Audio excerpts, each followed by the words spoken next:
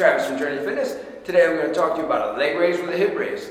So what we want to do is just get a little extra abdominal engagement than we would with the leg raise by raising our hips as well. So what we're going to do, raise our legs, push our hips up. Okay? So we're raising our legs, pushing our hips up.